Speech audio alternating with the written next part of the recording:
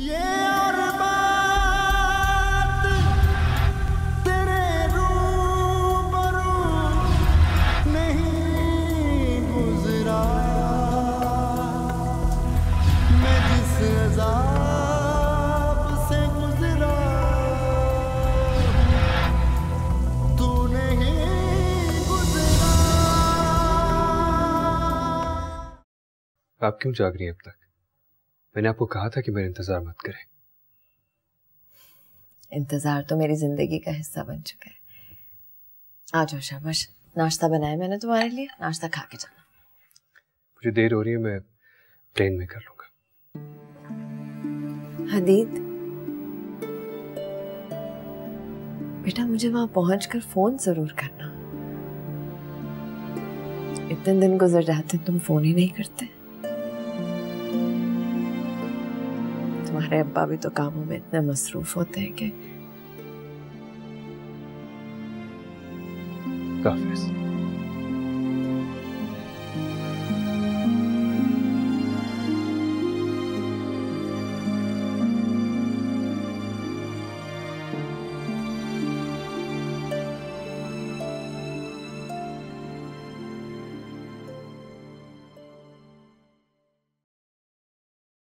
अरे फैसल आज तो आप बहुत जल्दी आ गए।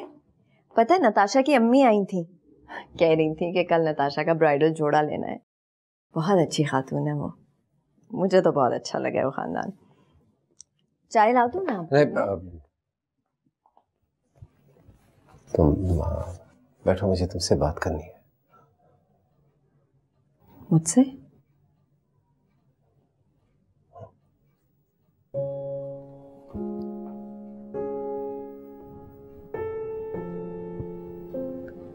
कहे खैरियत तो है ना? हेमन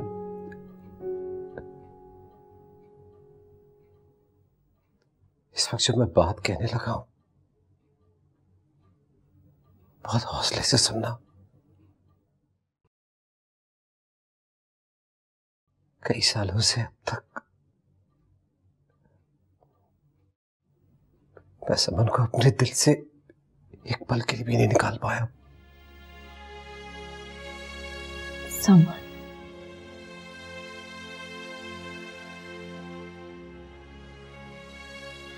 उसने जो कुछ आपके साथ किया उसके बाद भी? हाँ। उसके बाद भी।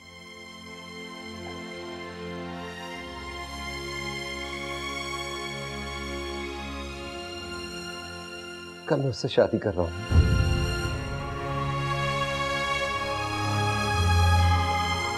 तुम्हें तलाक नहीं देना चाहता।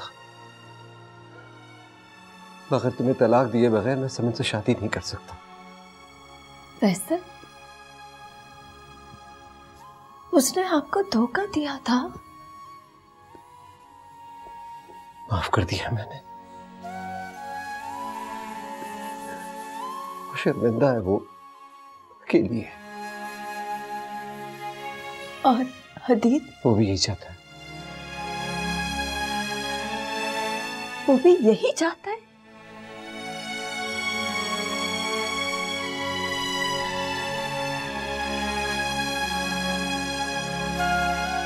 ये पेपर्स हैं। तुम्हारे फ्लैट और तलाक के।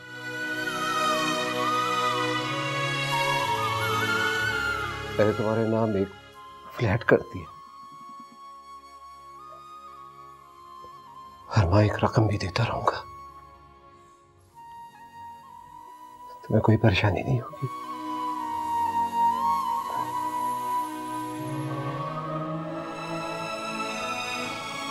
मुझे कोई मसला नहीं होगा।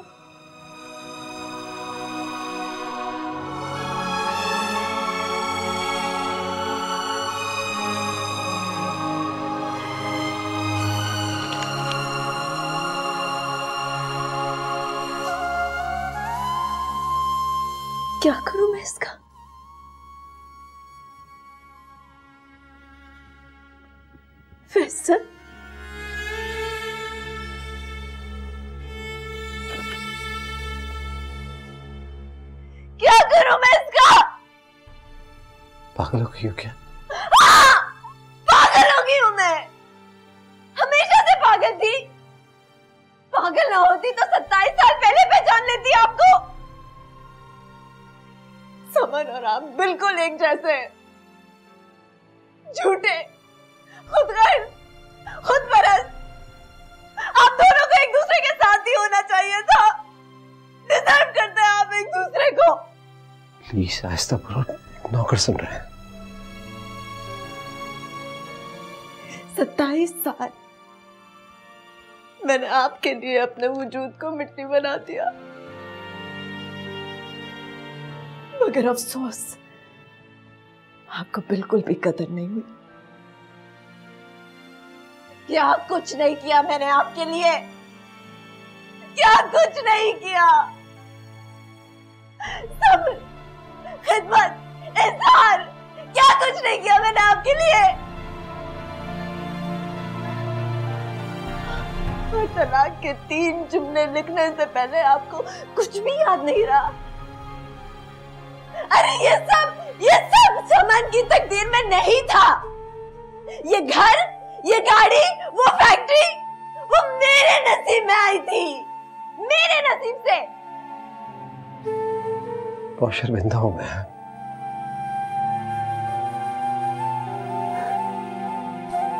मैं तुमसे कोई झगड़ा नहीं करना चाहता। शर्मिंदा? अरे किस मुँह से झगड़ा करेंगे आप मुझसे? आपको तो डूब के मर जाना चाहिए। अदीप भी यही चाहता है। उसकी भी यही ख्वाहिश है।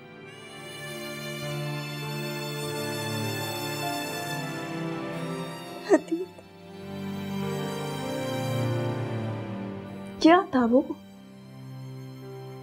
जब समन उसे छोड़ के चली गई थी?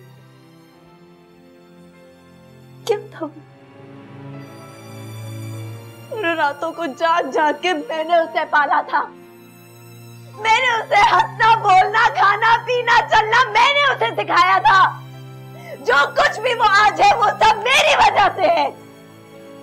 लेकिन मैं भूल गई थी कि वो आप दोनों का खून है। मैं भूल गई थी। तो ये सब तो होना ही था ना। तो उस लिहाज से तो ये सब ठीक है। वो ठीक कर रहा है। वो बिल्कुल आपकी तरह निकला। खुद गर्ज पकड़े अपने को मुबारक हो समन को उसका अपार्टमेंट ये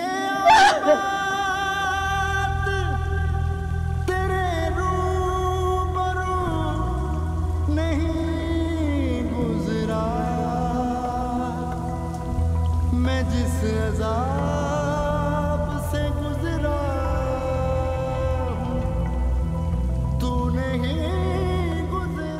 हदीब ने एक बार नहीं सोचा कि मैंने उससे कितनी मोहब्बत की है। सारी सारी रात उसको गोद में लेकर बैठी हूँ मैं। उसे खराश आती तो दर्द मुझे होता था।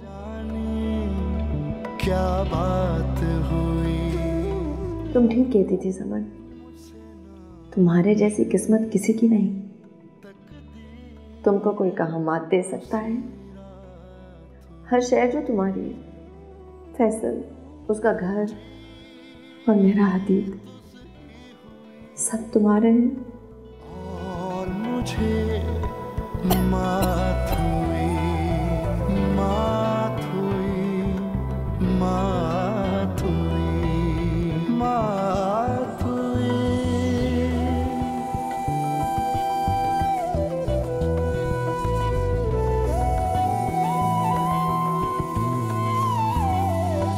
दश्त था सहरा था, तन्हाई थी, वीरानी थी।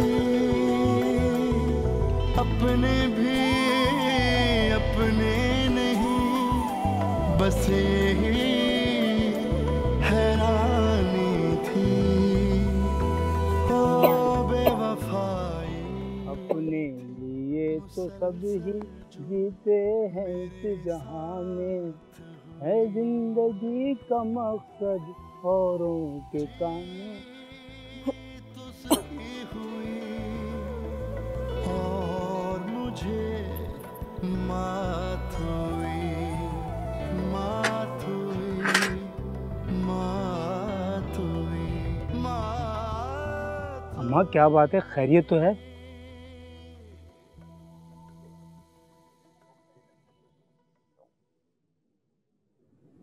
मेरा मियाँ मर गया। और मेरे बेटे ने मुझे घर से निकाल दिया। बदबख्त औलाद तौबा अम्मा, अगर बुरा ना मानो तो तुम मेरे साथ मेरे घर चलो।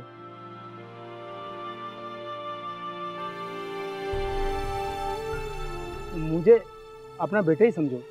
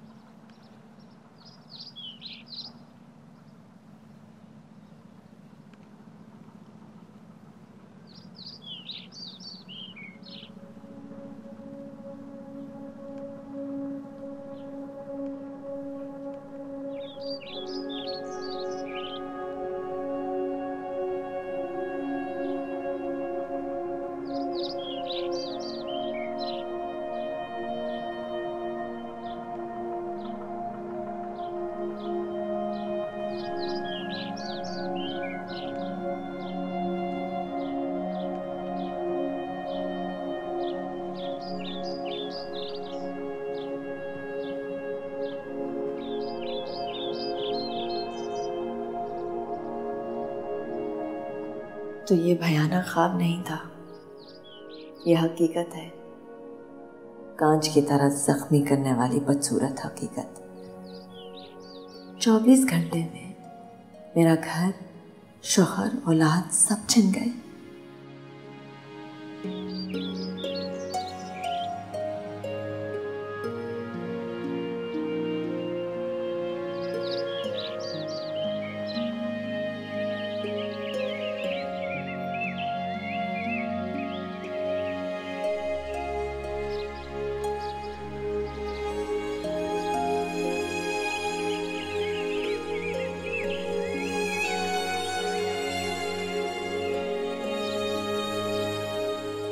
अम्मा जी उठ गई आप।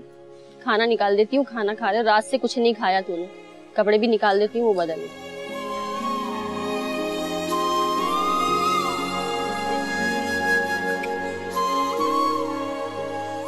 अम्मा रो मत। सबर कर ले सबर। औलाद बुरी निकल आए ना तो बस थोड़ी चलता है। इससे अच्छा तो है बे औलाद ही ठीक है। मैं औलाद ही तो हूँ मैं। मैं औलाद ही तो हूँ।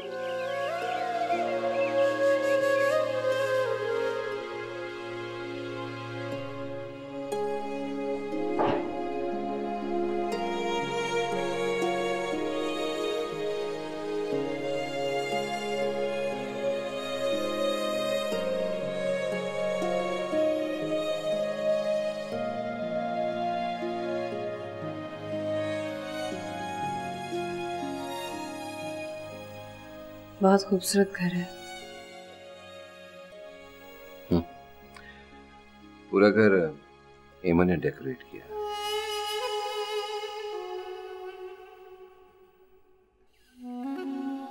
वालेकुम साहब जी। वालेकुम सलाम। जाओ ड्राइवर की मदद करो और बेगम साहबा का सामान बेडरूम में रखवा दो। और ये गेस्ट कहाँ ठहरेंगी? ये तुम्हारी बेगम साहब है। बेगम साहिबा जो कह रहा हूँ वो करो। जी बेहतर साहब जी। फैसल मेरा ख्याल है कि तुम्हें अब मुलाजिम भी बदल देने चाहिए।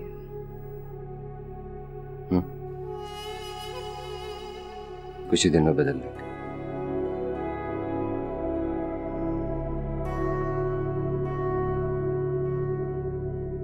और मैं सोच रही हूँ कि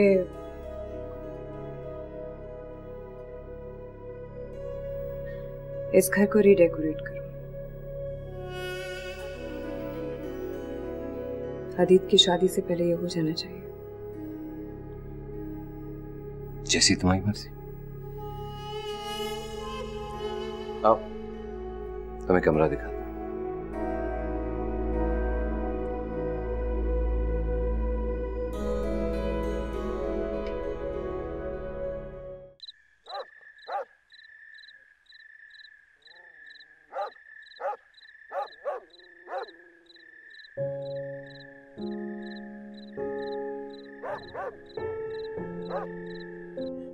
भी अल्लाह ने मेरे मुकद्दर में नहीं लिखी।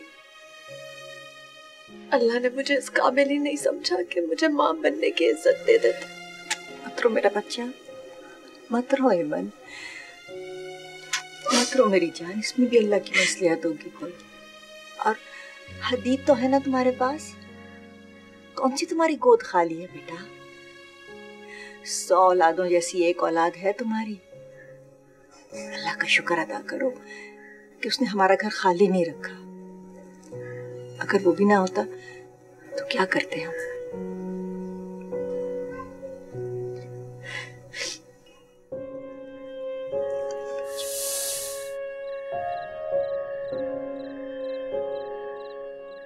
अपनी औलाद तो सिर्फ़ सगी औलाद ही होती है। पालने वाली तो आया होती है। माँ नहीं। तुमने फिर मात दे दी है मुझे समन।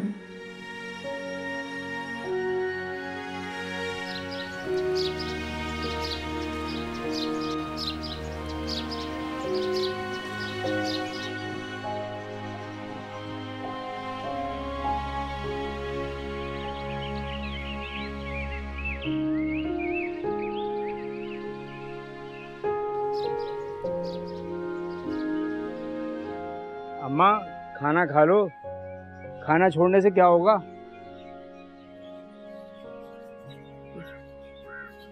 खाना खाने से क्या होगा?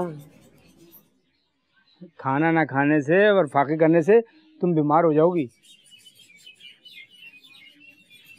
बीमार ही पड़ूँगी ना। मरूँगी तो नहीं। अम्मा अब छोड़ो इन बातों को। अब तुम इसे अपने घर समझो और मुझे अपना बेटा। हाँ बेटा बस अब इस बेटी की खातिर खाना खाओ। नेक बखत गरम रोटी लेके आ। तो ज़िंदगी के सत्ताईस साल जाया करने के बाद मेरी ज़िंदगी इस तरह गुजरेगी? किसी के घर पर किसी की खैरात से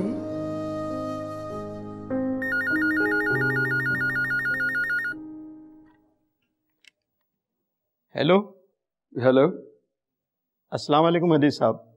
वालेकुम अस्सलाम। ये मम्मी कहाँ पे हैं?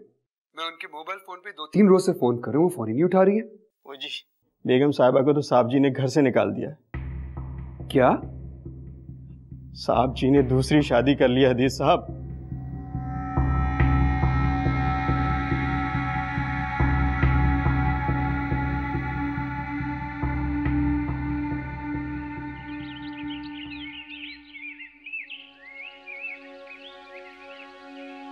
घर मुकम्मल हो गया उन तीनों का।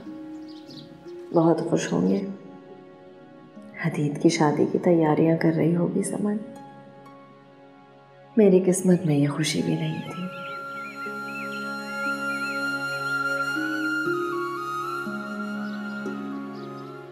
और हदीद, उसे तो मैं वाकई याद नहीं रही। इतने दिनों में उसे एक बार भी ये ख्याल नहीं आया कि मैं कहाँ हूँ। ज़िंदा भी हूँ या मर गई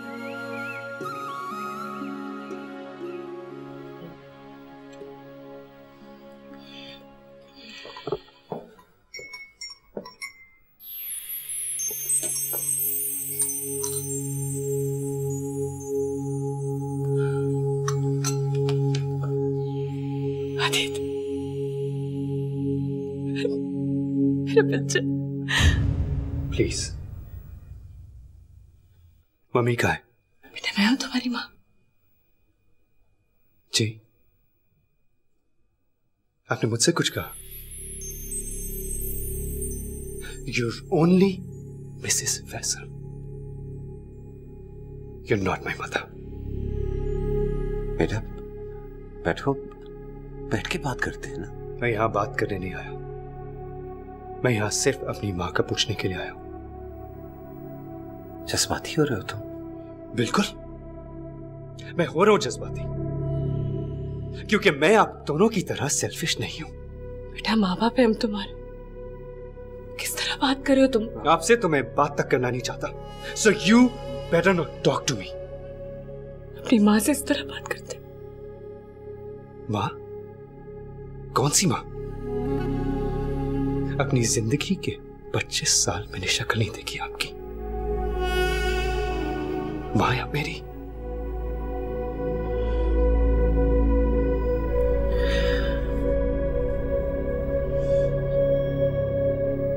मैं मानती हूँ बेटा। मैंने गलतियाँ की। लेकिन तुम मुझे गलतियाँ नहीं। गुनाह। गुनाह किए आपने। और आपसे मैंने कहा था ना कि मेरा घर मत तोड़े। कहा था ना मैंने आपसे? बेटा तो घर मुकम्मल हो गया ना। तुम्हारा बाप यहाँ है मैं यहाँ हूँ। I'm just sick and tired of your idea of a perfect home. और घर? किस घर की बात कर रही हैं आप? वो घर जो कि आपने इस शख्स के साथ मिलकर बनाए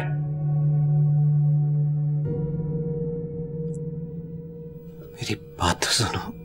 आप तो प्लीज़ रहने थे प्लीज़ रहने थे आपकी वजह से सोसाइटी में मैं किसी से नज़रें मिलाने के काबिल नहीं रहा।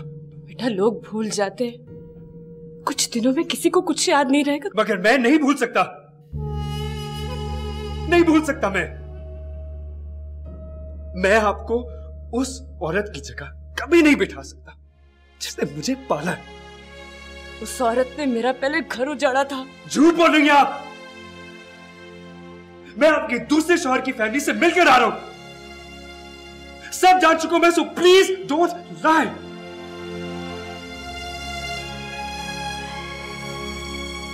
आप ऑलरेडी मेरी नज़रों से बहुत गिर चुकी हैं।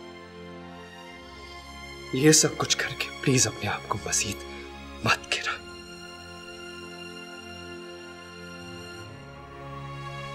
मेरा फैसला था। मैं ईमान के साथ नहीं रह सकता। इसलिए मैंने उसे छोड़ दिया। भी मेरा भी एक फैसला है।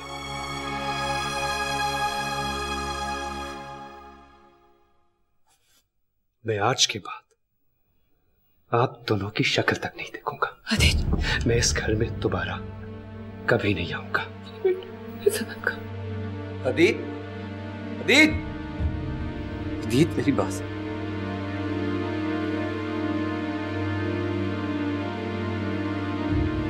You know what? You don't ever dare taking my name. नहीं बेटा। Ever. अदीत रुको एक मिनट। अदीत मेरी अभी गुस्से में ठीक हो जाएगा। कौन है हमारा? औलाद है हमारी कहीं नहीं जाएगा। वापस आएगा यहीं। मेरी अकलौती औलाद है वो। नहीं है तो क्या होगा?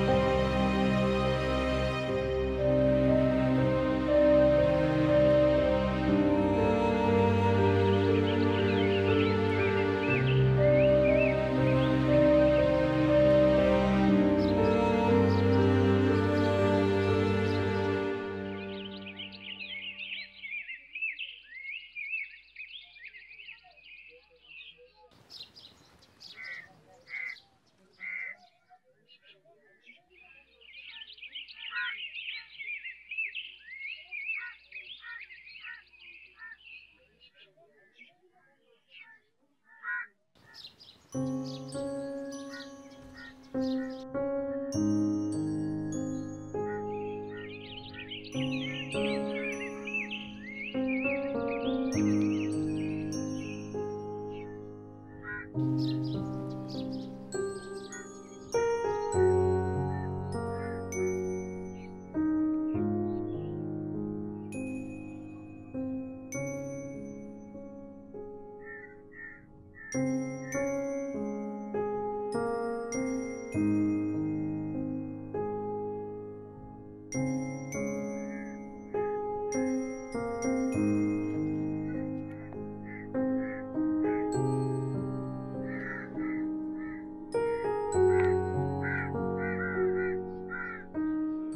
मुझे छोड़ के क्यों गई?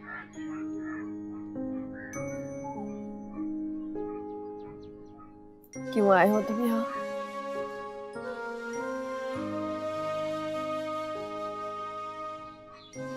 मैं आपको लेने आया हूँ। क्यों?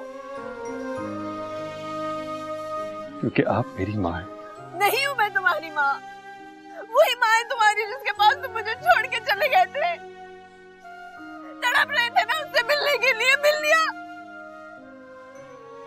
मेरी माँ सिर्फ़ और सिर्फ़ आप ही। नहीं हूँ मैं तुम्हारी माँ। नहीं हूँ मैं तुम्हारी माँ।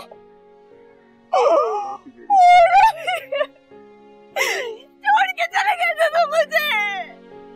क्यों? क्यों झूठ मुझसे? क्यों छोड़ दिया था मुझे तुमने? क्यों धोखा दिया? झूठ बोला तुमने मुझसे?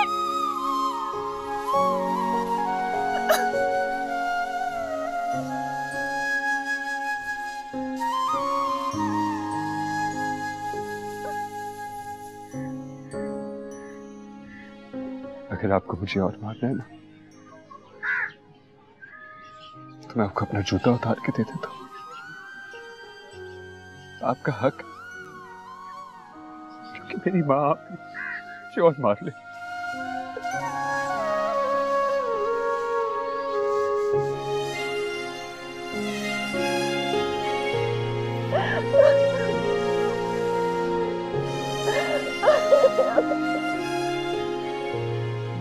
मुझे अंदर छोड़ के मत जाइएगा। आपके बगैर नहीं रह सकता।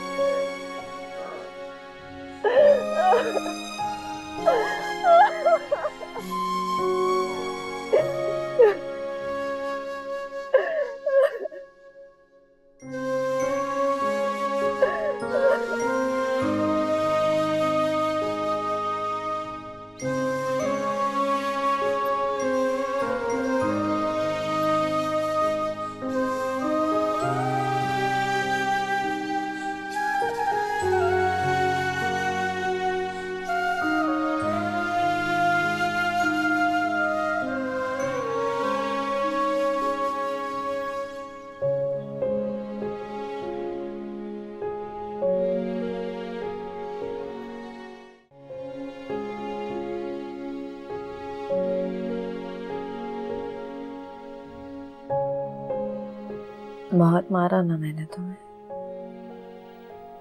दर्द हो रहा होगा। हाँ दर्द तो हो रहा है। शायद पहली बार मारा था ना इसलिए। अक्सर मारती रहती तो शायद इतना दर्द ना होता। पागल हूँ मैं।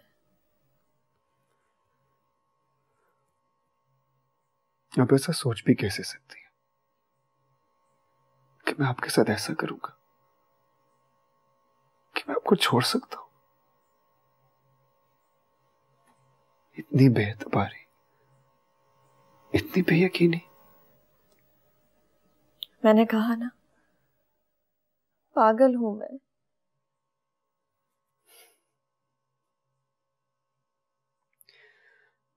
आपका सबसे बड़ा मसला यह है कि आपने हमेशा गलत लोगों पे एतबार किया। गलत लोग? मेरा अपना शौहर मेरी अपनी बहन गलत लोग हैं क्या?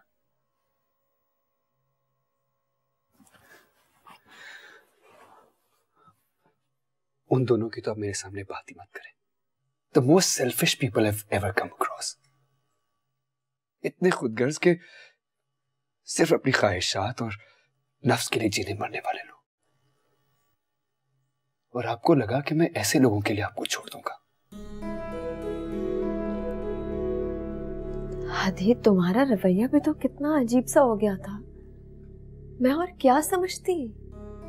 मेरा रवैया क्या अजीब हो गया था भाभी? मैं और क्या करता जब मैंने उस औरत को पापा के साथ देखा और मैं क्या करता भाभी?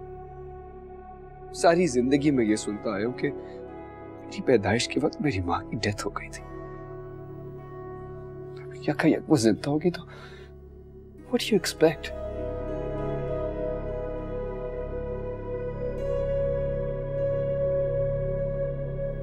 वो उसे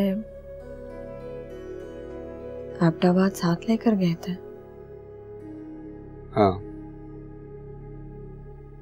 उन्होंने मुझे ये बताया था कि आपने उन दोनों के दरमियान में गलत फहमियाँ पैदा की थी जिसकी वजह से उनकी तलाक हुई। मेरी वजह से। और तुमने उनका यकीन कर लिया?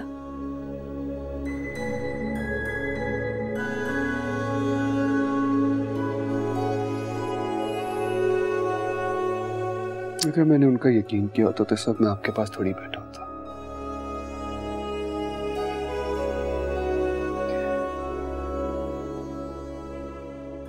पापा आपको तलाक देकर उससे शादी करना चाहते हैं। और मेरे पास आने की असल वजह भी वही थी। हदी तुमने ये सब कुछ मुझे पहले क्यों नहीं बताया? क्योंकि क्योंकि मैं आपको अपसेट नहीं करना चाहता था। मैं चाहता था कि मैं ये सारे का सारा मामला बाहर ही हैंडल कर।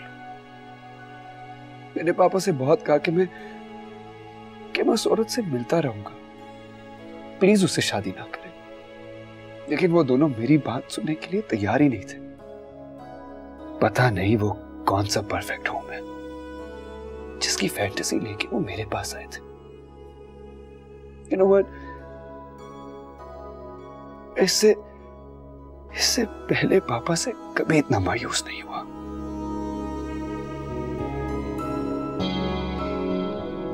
उन्होंने मुझसे ये कहा था कि वो ये सब कुछ तुम्हारे कहने पर कर रहे हैं। मेरे कहने पर? मम्मी, आप खुद ही बताएँ, मैं ऐसा क्यों चाहूँगा? मैं ऐसा क्यों चाहूँगा कि मेरा घर टूटे, मेरा और मेरी फैमिली का मज़ाक उड़े? For God's sake. आपको तो शायद अंदाज़ा भी नहीं होगा। मैं उनसे आपके लिए कितना लड़ा। मैं बस ये चाहता था कि आपको इस सारे मामले के बारे में कोई इल्म ना हो। इतने अरसे बाद आप इस घर में शिफ्ट हुई है। इतने अरसे बाद आपके और पापा के ताल्लुकात अच्छे हुए। मैं नहीं चाहता था कि ये सब कुछ ऐसे खत्म हो जाए। मैंने अपनी सारी ज़िंदगी दे दी इस रिश्ते को। एक परफेक्ट बीवी बनने के लिए अपनी तमाम उम्र लगा दी। लेकिन फैसल, समन से मोहब्बत करने के अलावा और किसी चीज़ के काबिल ही नहीं रहा। या फिर शायद मेरी बदकिस्मती थी? बदकिस्मत आप नहीं, बल्कि वो दोनों है। वैसे भी जब मैं आपके पास हूँ तो आप ऐसा क्यों सोचती हैं? आई वोंट लीव यू कम से कम मैं आपको छोड़ के कहीं नहीं जाऊँगा।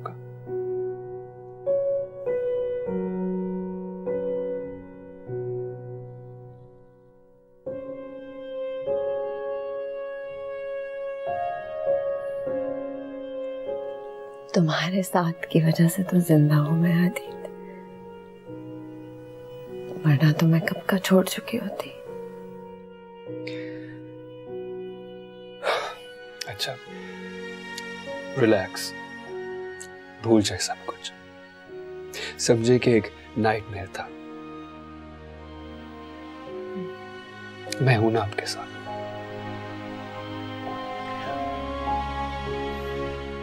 अब बिल्कुल ऐसे ही मुस्कुराया करें। आप मुस्कुराते हुए बहुत प्यारी लगती है।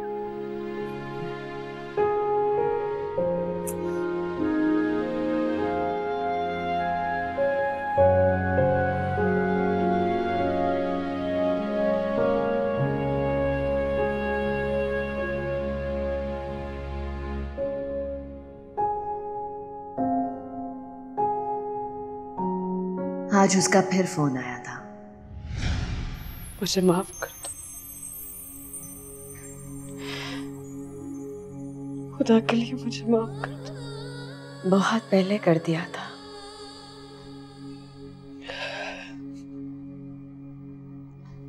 अतीत से भी हमसे मिले। माँ बाप है हम उसके। माफ़ करते हैं। वो भी कर चुका है। तो फिर हमें मिलता क्यों नहीं है? उसे कहो ना हमसे मिले। नहीं मिलना चाहता वो। हेमंत तुम कहोगी तो ज़रूर मिलेगा। मैं कभी नहीं कहूँगी। हेमंत। सब कुछ तो है तुम्हारे पास समन घर फैसल पैसा। किस चीज़ की कमी है? वो परफेक्ट ज़िंदगी है तुम्हारे पास। जिसकी तुम्ही ने ख्वाहिश की थी।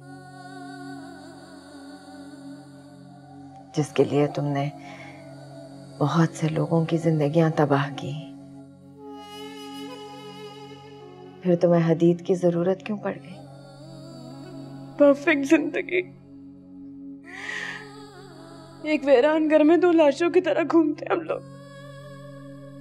कब्रिस्तान जैसी खामोशी इस घर में। दूर दूर तक कोई नहीं हमारे तंग आ गई इस ज़िंदगी से। फैसल मुझसे नाखुश है। कहते मैंने उसकी ज़िंदगी खराब की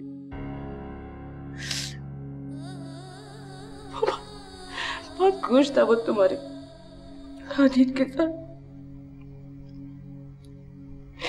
पता है मैं कभी कभी सोचती हूँ कि मुझे ये सब कुछ सुनने के बाद भी मैं तुम्हें हदीद से मिलने नहीं दूँगी, समन। तुम सोचती हो? बहुत अच्छा करती हो। सोचो। अपनी ज़िंदगी की तमाम लाहासिल ख्वाहिशात के बारे में। जिसने तुम्हें इतना खुद गर्ज इतना लालची बना दिया। कि तुमने अपने खूनी रिश्तों और अखलाकी कदरों को कुछ समझा ही नहीं। बिल्कुल बेमायने समझा। मुझे तुमसे और फैसल से बहुत हमदर्दी है समन। लेकिन मैं चाहती हूँ कि तुम दोनों एक साथ जियो। सिर्फ़ एक दूसरे के साथ। ताकि तुम दोनों को अंदाज़ा हो जाए कि जब ज़िंदगी से खुलूस मोहब्बत खूनी रिश्ते ईसार सब खत्म हो जाए। और सिर्फ़ आसाइश। और खुदगर्जी रह जाए तो कैसा लगता है? ये शहमात है समान क्या बात हुई? मुझसे ना खुश मेरी तकदीर उसी रात हुई।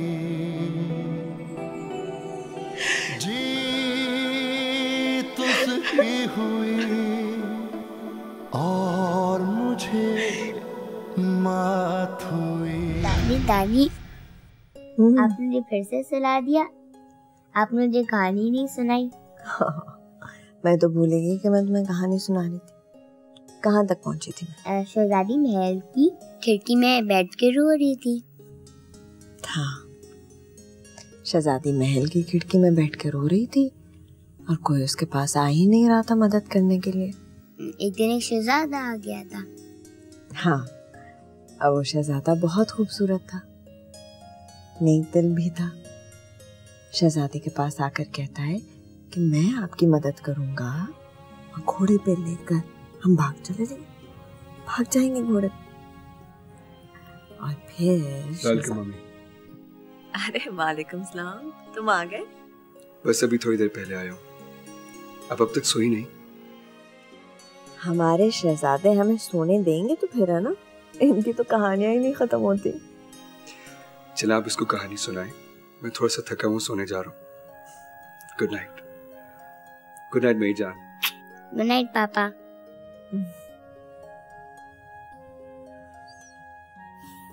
हाँ जी। तो कहाँ थे कि शहजादा शहजादी के पास आया मदद करने? उसने कहा, मैं आपको दूर ले जाऊँगा यहाँ से। तो उसने अपने पूरे लश्कर को बुलाया। पूरी फौज आ गई महल पर। महल की ऊँची ऊँची दीवारों पर चढ़ गई, अंदर आई और महल पर कब्जा कर लिया। शहजादा शहजादी के कमरे में गया, उसको उठा के वो नीचे दौड़ा दौड़ा गया